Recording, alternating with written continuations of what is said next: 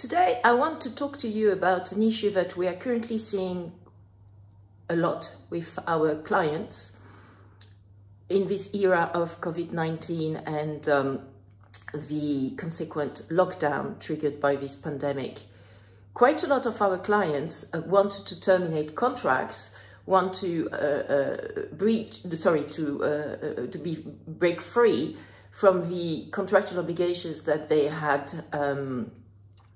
taken prior to the pandemic because they can't uh, benefit from the services or the products um, that um, the other party was uh, was contractually obliged to uh, provide them with in exchange for money, uh, remuneration, etc., etc. So, for example, quite a lot of our clients want to terminate their lease agreement because their shops are closed or their co-working spaces are closed, so they can't attend those premises. So, of course, they don't want to pay the price for the rent. Uh, that is an example. We're also seeing, um, uh, and that is not triggered by uh, COVID actually, but we're also seeing with uh, Brexit issues um, and red tape that quite a lot of UK-based businesses um, cannot make deliveries of products anymore now to continental Europe, the uh, 27 member states of the European Union, uh, Northern Ireland, for example, and um, and they are saying, stop, we have to stop doing deliveries in these places because we don't have the staff to actually uh, fill out all the documents and um, and uh, make sure that the red tape is taken care of. So we just have to stop deliveries in these places. So when they come to us, our clients, they're asking, so is this force majeure? Can we actually invoke force majeure uh, uh, in, in, in, with the other side, with the other party, um, in order to terminate the contract? And force majeure is a, a, a legal concept which uh, is defined as follows. Um, when an event which is outside the control of the parties occurs, then it means, and, and if such event um, triggers the impossibility by one or, the, both parties to e execute their legal, uh, contractual obligations, uh, then a force majeure um, uh, event occurs, which means that the um, uh, either the uh, contract is terminated or it is put on a standstill. And force majeure is a, a French concept, force majeure, and it's I suppose it's been uh, you know uh, basically adopted by the Anglo-Saxon world. Um, the issue, though, that we are seeing is that a lot of contracts which were drafted and executed prior to the COVID-19 pandemic do not contain such force majeure clauses. Usually force majeure clauses, by the way, uh, they um, relate to, uh, you know, um, acts of God, uh, uh very strong riots, um, wars, acts of wars, uh, fires, very strong fires, uh, very strong floods. These are examples of force majeure cases. And now we could even add a pandemic.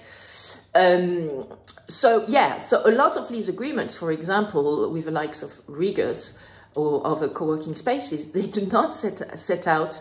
any force majeure clauses, which is, when you think about it, crazy but it is it is true. And um, it's very difficult for a client as well to who are all of course uh, professionals they are not consumers so they can't be treated as you know a much weaker party because they are consumers. No in, in, they are actually professionals uh, be it um,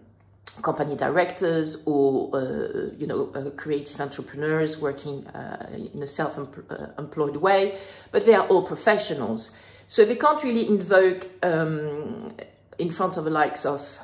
you know, Regus or, or they, they, the counterparty, they can't say, well, we are consumers, so we are weak, so you, you presented us with contract which was already drafted, which in any case we couldn't negotiate. And um, it was, you know, take it or leave it situation. But because we are consumers, we are protected and therefore, you know, you have to um, comply with consumers law and uh, and terminate that, that, that contract, which is in breach of, uh, of consumer law protection, uh, consumer protection law, sorry, uh, in a, when, when a, case of force majeure occurs. So in this case, as I was saying, our clients who are all uh, creative professionals, they can't invoke that clause because they're not consumers. So what do they do if, um, in addition, there is no force majeure clause in the contract, in the professional contract with the other professional party that provides for a case of force majeure? Well, it's complicated, I must admit, but now there is more and more a body of case law which um, uh, has been uh, uh, uh basically appearing in France as well as uh, in the UK, in England and Wales, because of course you are not the only one uh, being affected by this issue. Quite a lot of uh, companies and uh, and uh, businesses are being affected by this issue, which is that they haven't been able to go to their uh, work premises for months now because of the first lockdown, the second lockdown, another third lockdown in the UK, and potentially a third lockdown in France also coming soon. So um, the um, these businesses have um, started litigation in order to uh, in order to have the, the judges decide whether COVID-19 was a force majeure situation. So what's been happening in the UK, for example, uh, recently is that the um, UK courts have decided that uh, the uh, insurers had to actually pay for the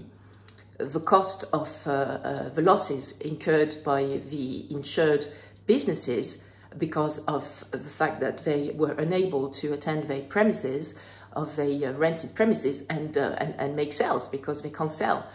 Um, so the UK courts have uh, forced the UK insurers to actually um, treat the COVID-19 pandemic as a force majeure case as a case which is uh, uh, protected by these uh, insurance contracts, and therefore these UK insurers will have to pay the, um, the some damages and some some some funds to these insured businesses in the UK. So that is an example of this body of case law which is appearing um, in, around the world, I suppose, but in particular uh, for um, our purpose here, for the UK, for England and Wales, as well as in France. In France as well, uh, French courts have started to decide and to put the, uh, the conditions under which COVID-19 can be uh, uh, treated as a force majeure case um, of pandemic and therefore um, a, a, a, valid, a valid cause for termination of a contract. So on a pragmatic um, standpoint, what's going to happen is that if you have a contract that you wish to terminate, and uh, because of force majeure, because of the COVID-19 pandemic, and if you don't have a force majeure clause in your contract which provides for such case of a, you know, an act of God or a, a, a disease or a pandemic, etc., happening, then you have to, you and your counsel, I strongly suggest that you take counsel um, in, in this instance, you and your counsel have to explain and to show and to demonstrate to the other side that uh, despite this lack of um, reference to a force majeure situation in the contract, the force majeure uh, situation does exist in factually, and therefore uh, the contract needs to be terminated as per the new body of case law, which has been uh, which has been um, published recently by the court in relation co to COVID-19. And um, yeah, it's going to be a lot of negotiations. If it works, it's fantastic, and then the contract is terminated. If it doesn't, then uh, you have to speak to your counsel again and uh, potentially have to litigate to obtain full satisfaction in terms of terminating the contract and um, and um, stopping having to make payments for services that you cannot uh, you cannot uh, benefit from anyway because there's a lockdown and you can't go to your to your work premises. So good luck with that and uh, don't hesitate to come back to us if you want some advice on this particular uh, fraught point at the moment. Bye for now.